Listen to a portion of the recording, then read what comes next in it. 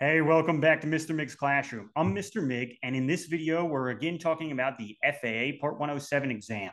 So if you're new to the channel, I ask that you subscribe. If you're not new, I still ask you to subscribe if you haven't yet, and give me a thumbs up. It really helps with the algorithm. Um, so in this video particularly, we're going to go over the weather section for the FAA Part 107 drone exam. So this exam is so you can be a licensed drone pilot and fly drones commercially. Um, all right, without further ado, let me go ahead and share my screen here. Weather is probably the biggest um, section on the 107 exam, or the second biggest. I would say sectional charts have the most questions, and the weather second most. Um, weather super important. It's definitely an area where I see a lot of students say they struggle. Um, some students have told me they get actually more weather questions than sectional chart questions. Everybody's exam is going to be a little bit different but expect some weather questions. You're going to definitely have some. Um, so here's what we're going to do today. I'm going to have multiple videos on the weather because it's so big. I'm going to split it up into three videos. The first video, I'm going to go over wind, air masses, atmospheric stability, and visibility in clouds. And then I'll do a second video where I'll do icing and fog, density altitude, which is a tricky one. Um, I'll go over the weather briefings, I've already talked about uh, METAR, so I'll do TAFs uh, probably as a second video. And then I'm probably going to do a third video just on the life cycle of a thunderstorm because that's definitely a question that's usually asked. All right, so let's get into wind here. Well, let's just start with the basic things. Um, you know, the main purpose of these videos is to help you with the exam, but I also want you to know how to be a responsible um, UA pilot. And I think that's really important. So one of the things you should know is that the remote pilot in command is you know needs to be responsible for weather weather conditions where they're at. You know you obviously you need to know if you're close to an airport but you are responsible to know the weather conditions and you need to check those ahead of time. And this is a question they might ask you on the exam to be in all honesty who's responsible for knowing the weather conditions? And it's going to be the remote pilot in command which they'll abbreviate as pic pilot in command or rpic um, uh, let's see. How will weather affect visibility on the flight mission? That's one important thing for the PIC to know, the pilot in command. And uh, will there be proper separation between the SUAS and clouds? Remember that the FAA requires a minimum distance, both horizontally and vertically, between your unmanned aerial system and the clouds. So you got to be 500 feet below the clouds at minimum and 2,000 feet horizontally away. I've gotten over, I've gone over that in other videos, so I'm not going to go over the that too much in this one. This one's more about the weather. Just remember, you need you are responsible to know how high the clouds are. You got to look that up um, because you know the FAA doesn't want an airplane that could be flying through the clouds to come through the clouds and then is landing and then runs into your UA. That's not good. That's bad. All right. So in this one, I built in some questions, or really, I should say, I got these from another teacher. You rock.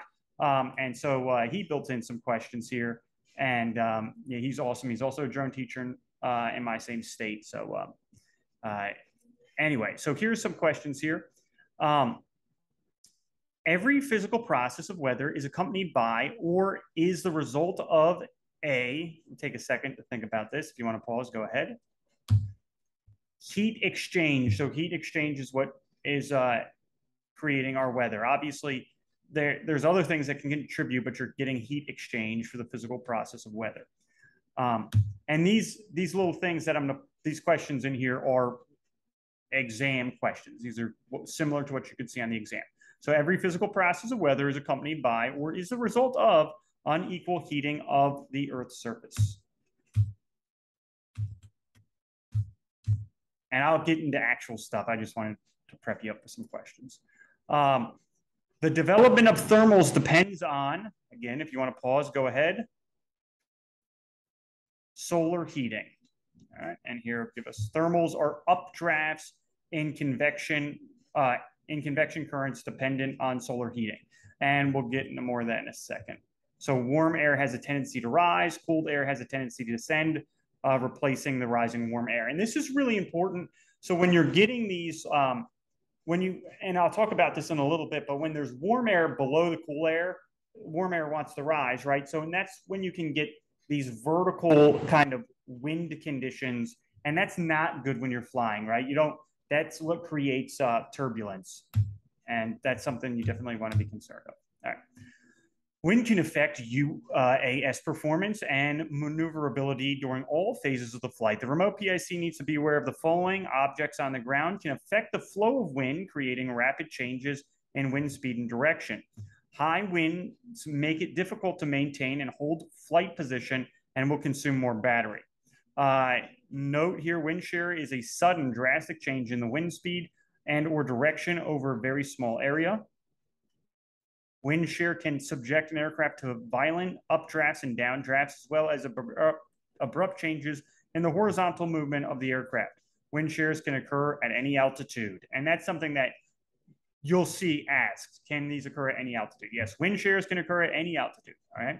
However, it is particularly hazardous at low levels due to the proximity proximity to the SUAS in the ground. And the, the problem there is obviously if for some reason you get a downdraft and pushes you downward and you're close to the ground, well, you could crash, right? And you you you need to be aware of that. Um, I like down here this little rule of thumb. Um, just kind of skipping ahead. I'm not going to read you all these slides. Um, the maximum wind speed should be no more than two thirds of the maximum airspeed of the SUAS. I think that's like a nice little thing to know that I think a lot of UA pilots don't know. So like if you're going outside and you see the winds like, you know, kind of strong, but not too, too strong, it's like, is it too windy to fly? Well, this is kind of a good rule of thumb to go by. So if your maximum speed of your drone is 30 miles an hour, if the wind's more than 20 miles an hour, it's too windy for you to fly, right? So that two thirds rule is kind of a good way to go. Um, but that being said, you know, always abide by the owner's manual of your UA's maximum operating speed. Um, you know, uh, every UA is going to be different, so you need to know your particular aircraft. Um, wind speed is also measured is often measured in knots, so you're going to need to know this term knots. Uh, they'll abbreviate this on the exam as KT. Uh, a knot is a measure of speed in nautical miles per hour. One nautical mile is equal to 1.15 statute miles. So this is kind of goes back to longitude and latitude. Actually, we talked about this in that section. Therefore, one knot is equal to 1.15 miles an hour. Right. So for all of you wondering how fast one knot is, it's just a little faster than going one mile an hour. All right, this is really important. I really need you to understand this concept here that we're going to talk about because this is a weird thing that they do in aviation. Wind directions are given in compass headings as measured from north of zero, right? So the wind compass direction reported is always in the direction in which the wind is coming from. So if we say the wind is, uh, we got an easterly wind, it means the wind is coming from the east, right? Here they give us example 45 degrees. So same thing, here they're using degrees instead of north, south, east, west, which is fine. For example, a wind direction of 45 degrees means the wind is coming from the northeast. It's coming from 45 degrees on our compass. Uh, I, I want you to understand this because this is the opposite of when we're talking about aircraft heading, right? So when we're talking about aircraft heading, we're saying the heading of an aircraft, it's the direction in which the aircraft is going. So if we're talking about wind and we're saying, hey, the wind is a northeasterly wind, it's coming from the northeast, right? The wind is coming from the northeast and traveling to the southwest. But if we're talking about an aircraft and we're saying an aircraft is on a heading of the northeast, that means it's going to the northeast and coming from the southwest. You need to know those. If that is confusing, please rewind this video and rewatch that. If it's still confusing, ask a comment in the comment section. Right. So I'm going to read this out to you. Note aircraft compass headings are always in the direction in which the aircraft is flying. An aircraft flying at 45 degrees is heading toward the northeast. Fixed wing aircraft always want to take off and land heading into the wind to maximize their lift capabilities at slow speeds right? So know the difference. Wind is based on where it's coming from. Aircrafts are based on where it's going to. Got that? See how these are the same direction, but they're going in two different directions. The wind is, right? You got that? All right. Ask me questions if you don't. Um, this this might not be so much asked on the test, but again, these are kind of good things to know. Just be cautious when you're flying your UA. Again, my so far my videos are mostly focused on the uh, FAA Part 107 exam, but in the future I plan on talking more about actual drones. Um, right now, I just want to help folks with the FAA Part 107 exam. But in the meantime, I do want to point these things out. I don't think I'm I think I, you know, have an obligation to point some things out, even if they're not always on the exam. And I've told you this, you could have never flown a drone ever and passed this exam. It's more about the knowledge, not so much about knowing how to fly. But if you're getting the license, you should know how to fly too. And one thing I want you to be aware of is that wind speeds below the treetop, you know, might be safe. And then when you're with, like, so say you're flying and there's trees around you, the wind might be slower because it's blocked by the trees. And then but if you go, you know, get your drone above the trees, then it could get blown away by the wind, right? Because the wind could be stronger above the trees. Um, you know, so just be aware of that, right? Um, oh, here it kind of says that wind speeds above the trees, trees might exceed the safe speed and they could blow your drone away. So just be aware that if you're in wooded areas and then you fly your drone above the trees. Okay. Um, Here's some other things that you really, I think we should know about. So we'll do questions on and then we'll go over. So these are kind of things that they will more ask about. Um, one of the things that you'll notice on this exam is that you're going to get a lot of questions that are relevant to airplanes, um, manned aircraft, not just uh, drones.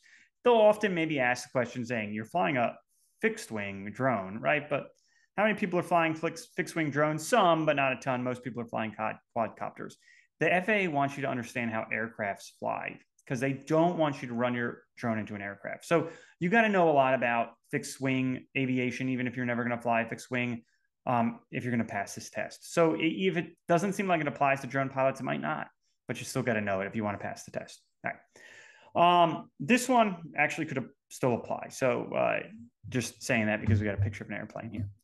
All right, wind shear can exist, and we said this earlier, at all altitudes. Yes, it's more dangerous when you're at lower altitudes, especially for manned aviation, right? Because when a manned aircraft crashes, it's really, really bad. Um, but it can wind shear can exist at all altitudes. I've said in past videos when you see the all answer choice, it tends to be that. Now, I'm not saying it is every single time. I think I've seen one question one, I mean, I've seen a lot of practice questions for the Part 107 exam. I've seen one where there was an all answer choice and that was not the correct answer. But 95 plus percent of the time when there is an all answer choice, it's I've it has been the answer for me. Um, now I'm not saying like if you feel confident that answers something else and it's not all, I'm not telling you to go against what you think and pick all. I'm just saying if you have no clue and there's an all answer choice, go with all. Um, it, it seems to usually be correct. All right, so wind shears can exist at all altitudes. A strong, steady wind exists out of the north. You need to photograph an area to the south of your location. You're, you are located in an open field with no obstructions. Which of the following is not a concern during this operation? Okay, so what's not a concern?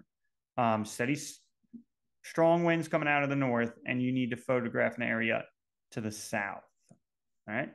Strong wind conditions may consume more battery power at a faster rate than uh, in calm conditions. Well, yeah, that's that's true. Uh, turbulent conditions will likely be a significant factor during the operation. Strong wind may exceed the performance of the SUAS, making it impossible to recover. All right.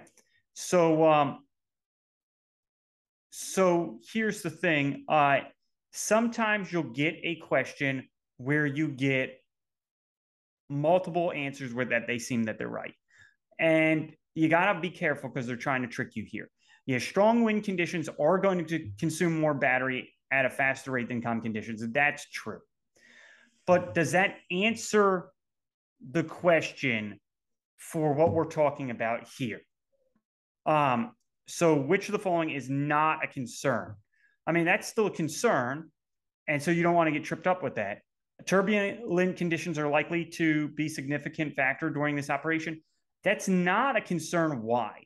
Well, we're getting a strong wind out of the north, but we're it didn't say anything about having like um it didn't say anything about having conditions that are going to create like uh, updrafts and downdrafts. So that's why it's not such a big deal.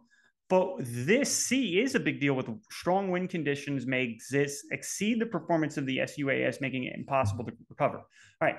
So if we're going to the south and then there's strong wind coming out of the north, then getting back, we'll, we'll fly south real, real quick, real, real easy. But then getting back north, we might not be able to get back north because now we're going against the wind coming back and it could make it impossible to recover. All right. So, but turbulence, like, could we have turbulence here? Yes, we could have turbulence. And so I know this is a tricky question because it's like, it's a strong, steady wind. The key here is steady. And that's why turbulence isn't the right answer. Um, if it said like strong variable wind or strong wind with updrafts and downdrafts, then you know B could be correct. But here it's saying strong steady. So it's strong wind, but staying steady. So that's why remember that turbulence is more created by that kind of updrafts and downdrafts. I hope that makes sense. If it doesn't, please ask in the comment section. That one gets tough for folks because they feel like strong wind should be something you should be concerned of. And it should be, but it's just like, you know, what's the best answer? All right, uh, let's get into air masses and air fronts. A large body of slow moving air of relatively uniform temperature and moisture content is known as an air mass. When two air masses of dissimilar properties collide, the line of collision is known as a front. And I like the little graph that we have here. So, um, so advancing cold air is coming in, and we had warm air here. Remember, what's going to happen is warm air likes to rise. It's going to get pushed above our cold air front coming in. Or we know this is a cold front because it's donated or it's denoted as the blue line with these little blue arrows. If it was a warm front, it would be a red uh, line with the with red arrows here. So that's cold front there. Cloud development because of frontal lifting of warm, moist air. So that's what you're going to get is warm air gets pushed up and it's going to create clouds. All right. So here's our front types, cold front. The leading edge of an advancing cold air mass, often accompanied by poor weather. Right. You'll want to know this. Cold fronts are often accompanied by poor weather ahead of the front which passes relatively quickly because again we're getting that warm air that's getting pushed up and creating those clouds um, once the front is passed a wind shift can be expected along with turbulence possibly thunderstorms hail and or tornadoes again here you're getting when you're getting cold air and warm air colliding you're going to get turbulence because you're going to have air going up and down right when those front, fronts collide you're having that warm air going up and a cold air coming down and that creates turbulence because if a plane's coming through and the air is doing like this thing over here, that's obviously going to make the plane a little like less steady. Warm fronts, the leading edge of an advancing warm air mass, move about one half as fast as a cold front. This is a total question, right? This is like this is the type of information they love to ask on the Part 107 exam. Is like something like which of the following could be characterized as moving half as fast as a cold front, or uh, you know, uh, something along those natures. They'll, they could test you that warm fronts move half as fast as cold fronts. So remember that. Write it down in a flashcard if that helps. Uh, and what actually I would do is I would take these down and I would get two flashcards and I would put cold front on the front side of one flashcard. And then I would write these three uh, bullet points here. And then I'd get another flashcard and write warm front on the front of it and write these three bullet points on that one. Often preceded by lowered ceilings, increased precipitation, and reduced visibility. So know that with the warm front, you're getting that reduced visibility, okay? And here's a question. I, let me know in the comment section if you like this, like learn a little bit, get a question, learn a little bit, get a question. It's different than what I've been doing where I give you a bunch of information and then I'll do a separate video with a bunch of questions. So if you like this style, please give me a thumbs up and the uh, a like and then write it in the comment section. Just let me know if you like this style. Or if you don't like this style, let me know that too, and I'll go back to the other way.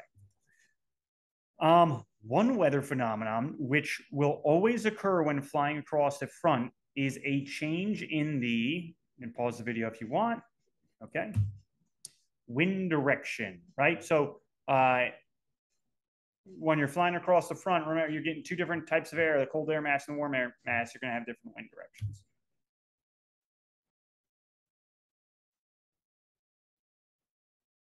The zone between different temperature, humidity, and wind is called a, pause the video if you want, a front. This one should be an easy gimme.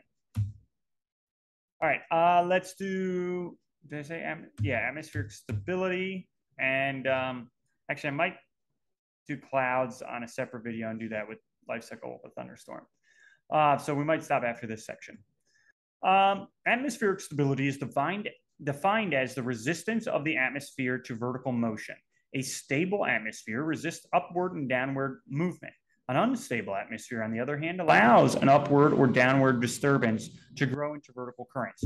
Remember, vertical currents are bad, and that's what creates turbulence. We don't want that when we're flying. We like stable where we're getting horizontal currents, right? Or not vertical currents. Unstable air can result in weather conditions unfavorable to SUAS operations. That should be pretty easy. Easy. Sometimes these things are counterintuitive. This one's not. This one's pretty straightforward.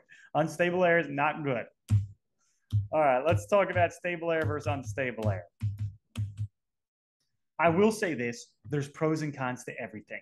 It seems to be that there's no perfect um, weather condition. Like, even like there's there's always going to be a bad, right? So you, you'll even see with stable air, there's something bad about it. So let's talk about that. So characteristics of stable or unstable air. Let's go over unstable air first. Um, unstable air, or uh, let's see, showery precipitation.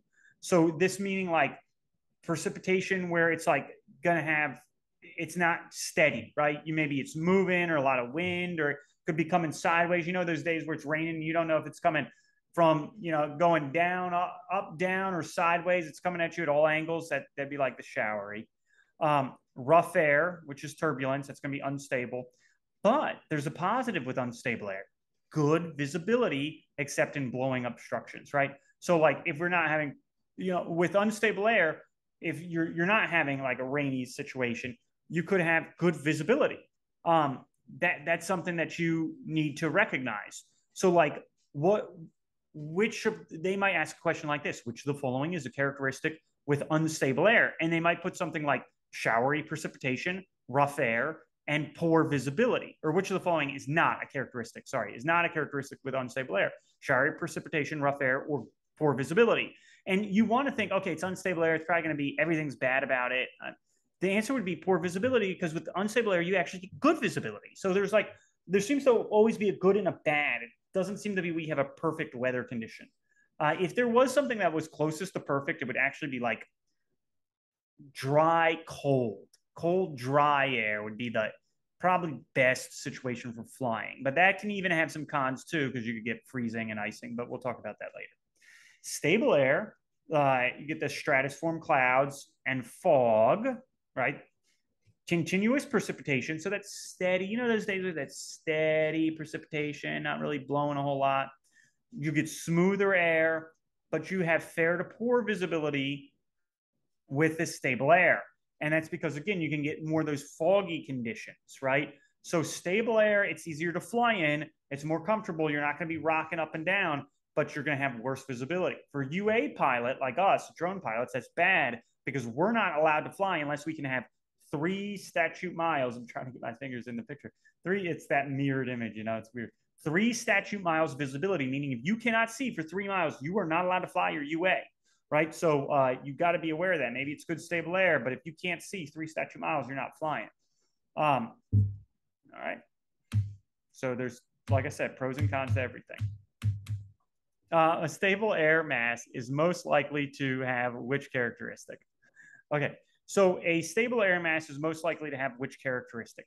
And this is like this is like those tricky questions. It's like, um, well, I, I remember there was something about precipitation in both of them, right? And it's like, okay, I'm going to go with that because it's easy to think stable air mass is good, so you you would have good visibility. But no, remember this. Remember this. There's always a good with the bad. There's always bad with the good, right? There's no perfect condition. So it's like if you have something bad about stable air, and that bad thing about stable air is usually poor visibility. Here's an example. I'll try not to show the answer this time. There we go.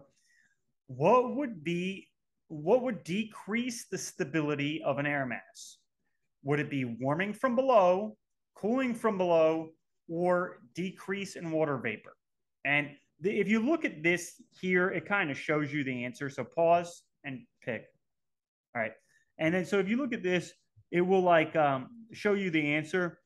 Um, what what happens if you got here? I'll show you the answers. Warming from below. So if you have warm air from below, what happens is is remember that air wants to rise because warm air likes to rise and cold air likes to fall.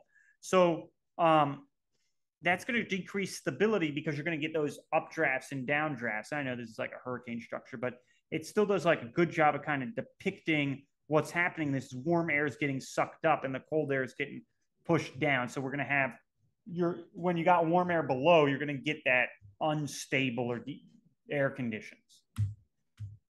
All right, let's go ahead and do this. I said I was going to finish this section, but I think this video is getting long. So I'm going to close out here, uh, and uh, and then I'll go over visibility in clouds in my next video. If you enjoyed the video, please give me a thumbs up and subscribe. Um, also, leave a comment. I really, really love it when y'all leave a comment. Remember, I'm just a, I'm a, I'm just a high school teacher. Um, so um, uh, anyway, leave a comment in the comment section. I'll catch y'all next time. Thanks for watching Mr. Mig's Classroom.